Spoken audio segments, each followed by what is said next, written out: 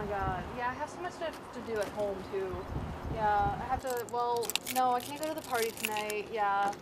No, I have class tonight, and then on the way to class, I gotta get gas, and on the way home, I gotta go get groceries, and I have this huge project to do.